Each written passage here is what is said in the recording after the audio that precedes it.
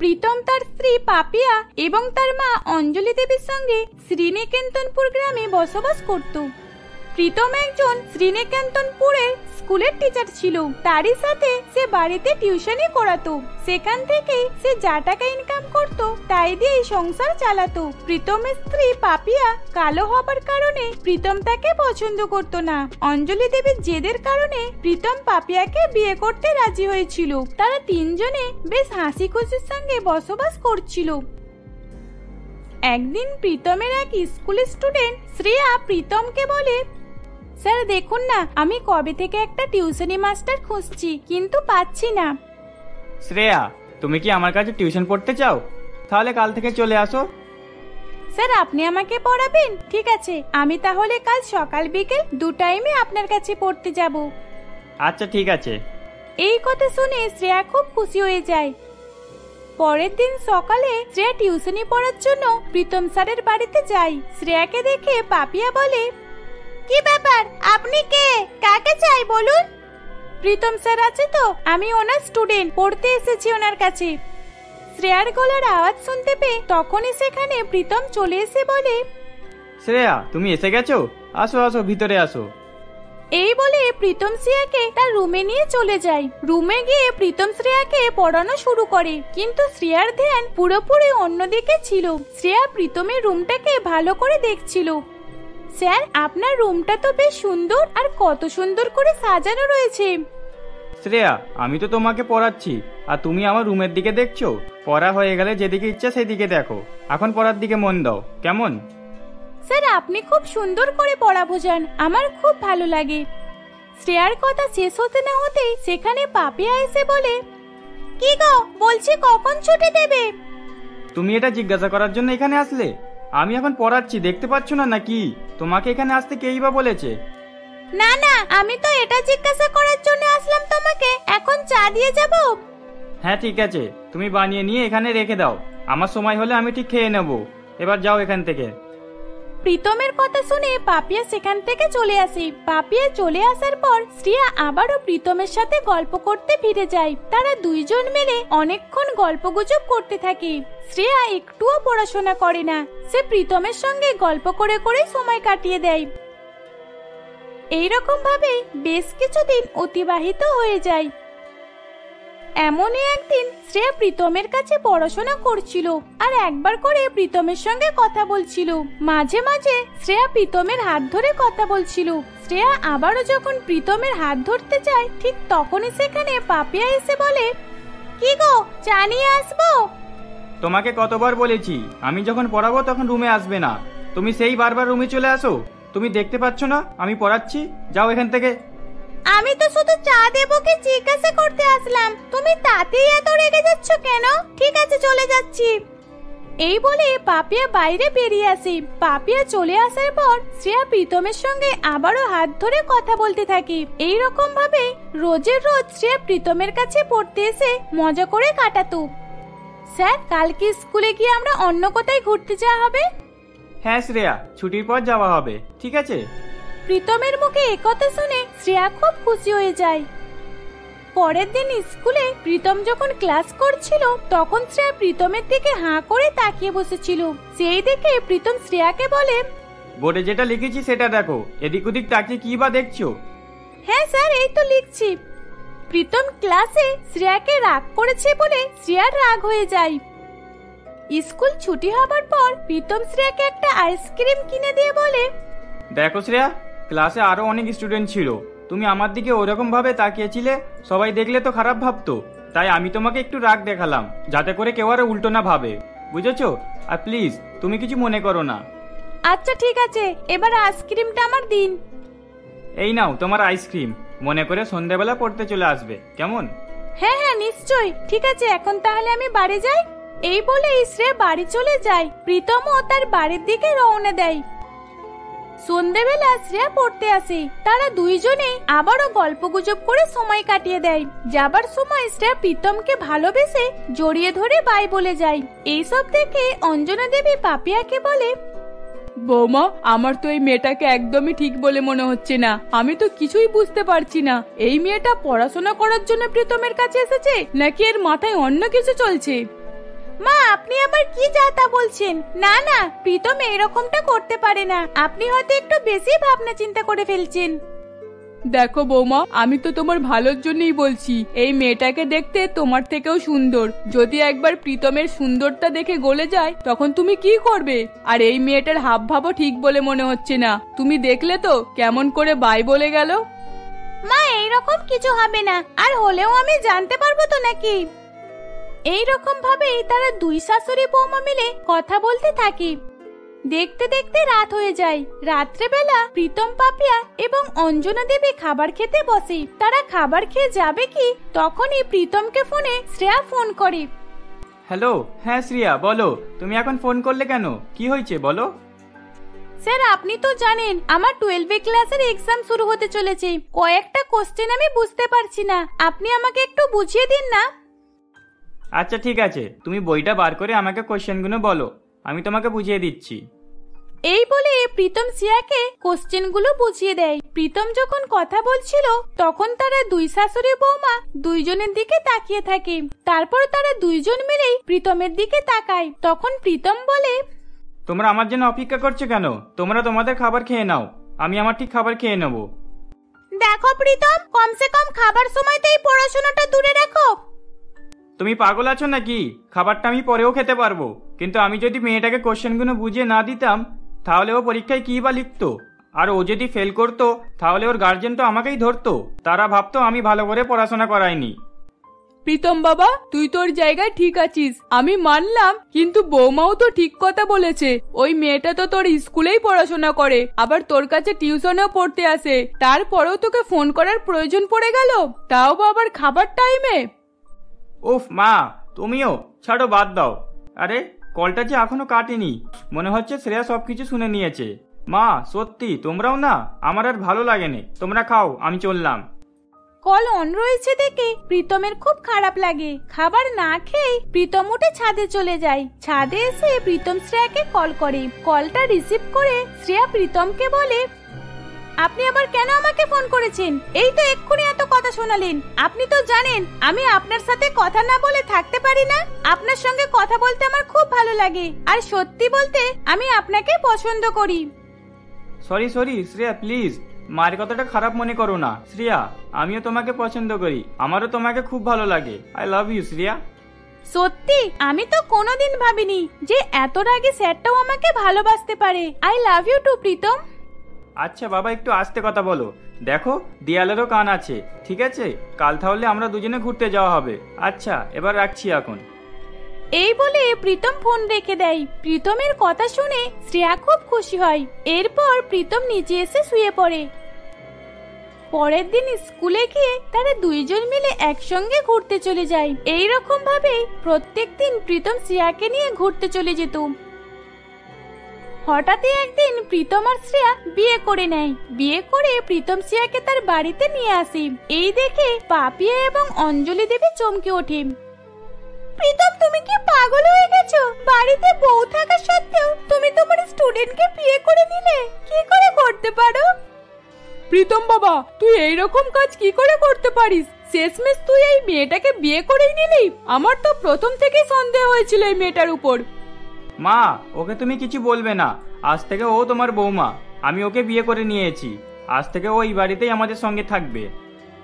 মা আপনি আপনার বৌমাকে যতটা ভালোবাসেন আজ থেকে আমাকেও ততটা ভালোবাসতে হবে। আপনি আপনার বৌমাকে যতটা সম্মান দেন আজ থেকে আমাকেও ঠিক ততটাই সম্মান দিতে হবে। ছোট মুখে বড় বড় কথা বলতে লজ্জা করে না? আমি তোমাকে আমার বৌমা বলে কোনোদিনও মেনে নেব না। শ্রেয়া তুমি মায়ের কথায় কিছু মনে করো না। চলো আমরা রুমে যাই। এই বলে প্রীতম শ্রেয়াকে নিয়ে রুমে চলে যায়। এদিকে পাপিয়া বসে বসে কাঁদতে থাকে। তাকে তার শাশুড়ি মা অনেক বোঝাতে থাকে। পরের দিন সকালে পাপিয়া প্রীতমকে ইমপ্রেস করার জন্য সকাল সকাল উঠে বাড়ির সমস্ত কাজ করতে থাকে আর প্রীতমের জন্য রান্না করতে থাকে। এই সব দেখে সবাই একটু অবাক হয়ে যায়। কিন্তু তাকে কেউ কিছুই বলে না। বাড়ির সমস্ত কাজ হয়ে গেলেও রাত্রেবেলা শ্রেয়া পড়াশোনা করত। এই রকম ভাবেই তার প্রত্যেকটা দিন কাটছিল। দেখতে দেখতে তার পরীক্ষা চলে আসে। পরীক্ষা হয়ে যাবার কিছু মাস পর তার রেজাল্ট বার হয়। রেজাল্ট দেখে শ্রেয়া খুব কান্নাকাটি করতে থাকে। শ্রেয়াকে কান্নাকাটি করতে দেখে পাপিয়া জিজ্ঞাসা করে, কি ব্যাপার শ্রেয়া, তুমি কাঁদছো কেন? কি হয়েছে বলো? আমি আমার বাবা মার স্বপ্ন পূরণ করতে পারলাম না। আমি তাদের স্বপ্ন ভেঙে চুরমার করে দিয়ে প্রীতমকে বিয়ে করে নিলাম। তাই আজ আমার এই রকম অবস্থা হলো। আজ আমি ফেল করে গেলাম। পড়ার সময় না পড়াশোনা করে তুমি প্রীতমের সঙ্গে প্রেম করতে ব্যস্ত ছিলে। তাই আজ এর ফল রেজাল্টে দেখতে পেলে তো? সত্যি, আমি খুব বড় ভুল করেছি। আমার অনেক বড় ভুল হয়ে গেছে। আমাকে ক্ষমা করে দিও আপনারা। পড়াশোনা করার বয়সে পড়াশোনা না করে প্রেম করেছিলাম। তাই আজ আমি ফেল করে গেলাম। আমি আর এখানে থাকব না। এই বলে শ্রেয়া তার নিজের বাড়িতে চলে যায়। তখন প্রীতমও তার নিজের ভুলটা বুঝতে পারে যে সে তার ছাত্রের কত বড় ক্ষতি করেছে। সেদিনের পর প্রীতম তার ভুল বুঝতে পেরে অঞ্জনা দেবীর কাছে এবং পাপিয়ার কাছে ক্ষমা চেয়ে নেয়। প্রীতম পাপিয়ার সঙ্গে হাসি খুশিতে বসবাস করতে থাকে। ডক্টর রাতুল যে কিনা এক হসপিটালের বড় ডাক্তার ছিল। ডক্টর রাতুলের হাত পা দড়ি দিয়ে বাঁধা ছিল। এমনকি তার মুখেও সাদা টেপ দিয়ে চাপা দেওয়া ছিল, যাতে সে চিৎকার করতে না পারে। ঠিক তার পাশে নন্দিনী হাতে একটা বড় ইঞ্জেকশন নিয়ে দাঁড়িয়েছিল নন্দিনী ডক্টর রাতুলের হসপিটালে নার্সের কাজ করত। নন্দিনী ইঞ্জেকশনে কিছু একটা ওষুধের নেশা ছিল। ইঞ্জেকশনটা ছিল নর্মাল ইঞ্জেকশনের থেকে অনেক বড়। ডক্টর রাতুল এবার আপনার সিন শেষ। আজ আপনাকে আমি খুব ভালো করে সাজা দেব। আপনাকে আজ বুঝিয়ে দেব এইসব নোংরা কাজ করার শাস্তি কি। এই বলে নন্দিনী ডক্টর রাতুলের কাছে যেতে থাকে।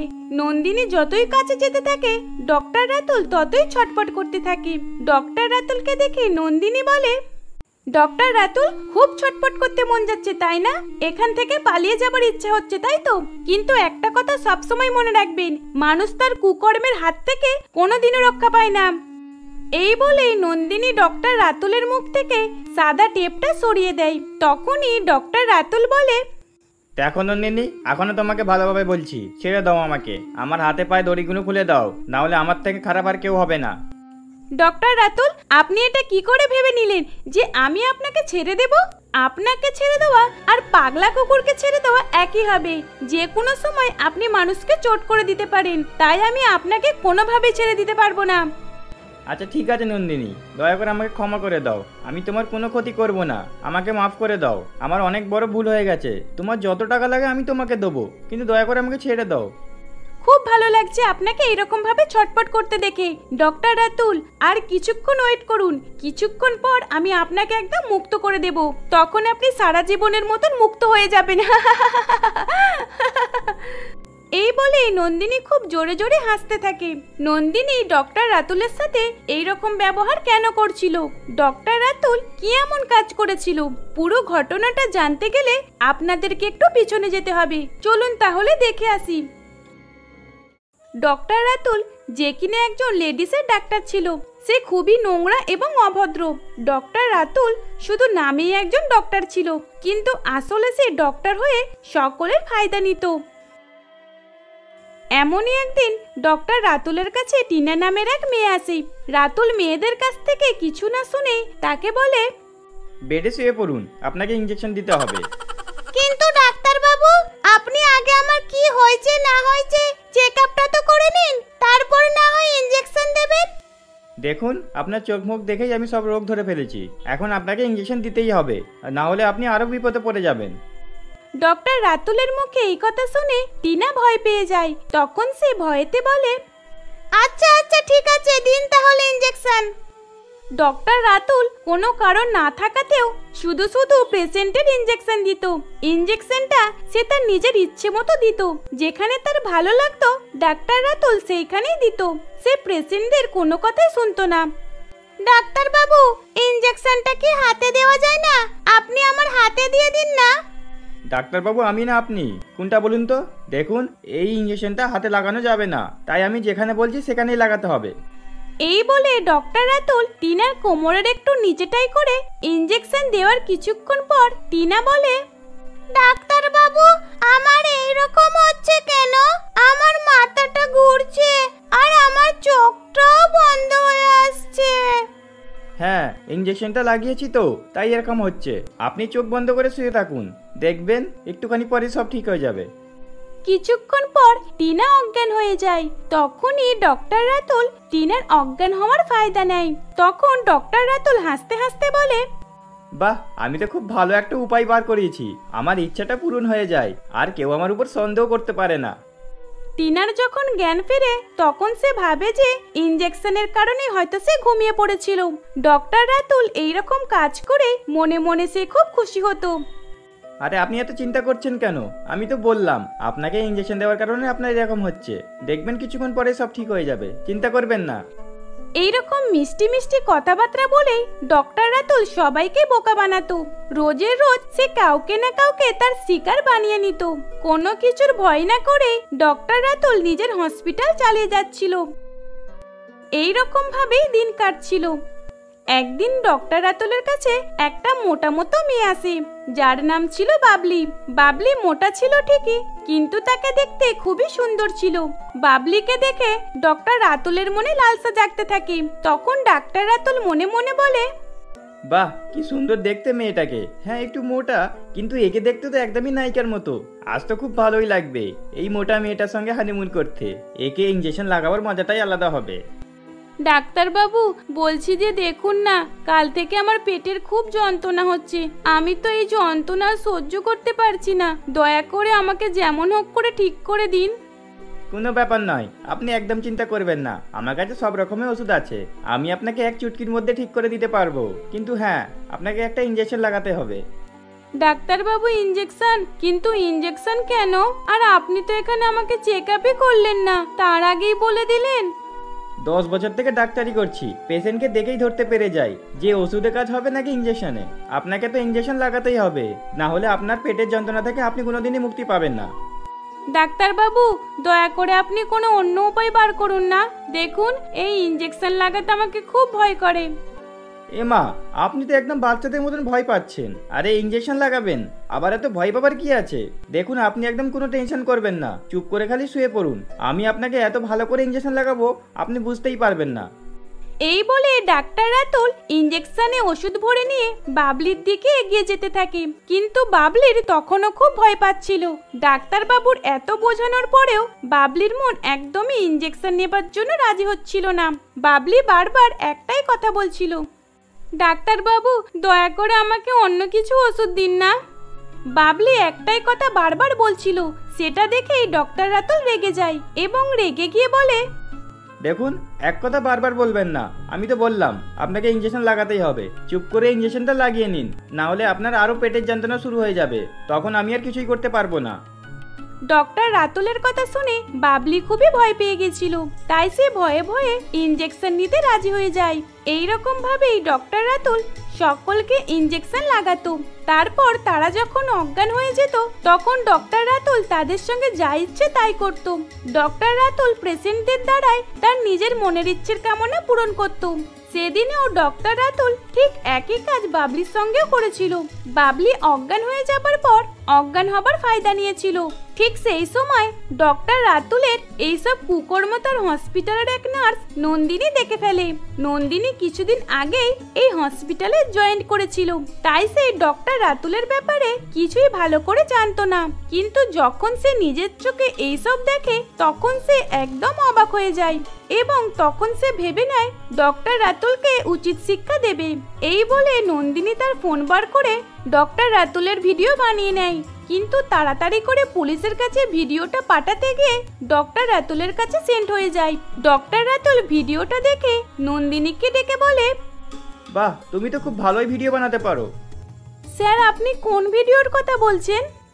তারপর ডক্টর রাতুল নন্দিনীকে তার ভিডিওটা দেখায়। তখন নন্দিনী চমকে উঠেছে এটা তো আমি পুলিশকে পাঠিয়েছিলাম। তখন নন্দিনী ভাবতে থাকে যে ভিডিওটা কি করে ডক্টর রাতুলের কাছে আসলো? ডক্টর বাবু জোর করে নন্দিনীকেও ইঞ্জেকশন দেয়। তার সঙ্গেও ঠিক একই কাজ করে এবং তাকে জঙ্গলে গিয়ে ফেলে দিয়ে আসি। জঙ্গলের ভিতর দিয়ে একটা লোক যাচ্ছিল। তখন সে নন্দিনীকে দেখতে পায় এবং তখন সে নন্দিনীর যান বাঁচায় তখন নন্দিনী বলে ডক্টর বাবু এবার আপনি আপনার কুকর্মের শাস্তির জন্য রেডি থাকুন। আমি আসছি। এই বলে নন্দিনী লুকিয়ে লুকিয়ে ডক্টর রাতুলের অফিসে যায় এবং সেখানে গিয়ে একটা মোটা লম্বা লাঠি দিয়ে তার মাথাতে আঘাত করে। তখনই ডক্টর রাতুল অজ্ঞান হয়ে পড়ে যায়। সাথে সাথেই নন্দিনী তার হাত পা দড়ি দিয়ে বেঁধে ফেলে। ডক্টর রাতুলের জ্ঞান ফিরতে সে খুব ছটপট করছিল এবং সেই দেখেই নন্দিনী মনে মনে খুবই খুশি হচ্ছিল। তখন নন্দিনী তাকে ওইসব কথা বলছিল এবং তাকে একটা বড় ইঞ্জেকশন দিয়েছিল। তখনই সে সঙ্গে সঙ্গে আরও ছটপট করতে থাকে।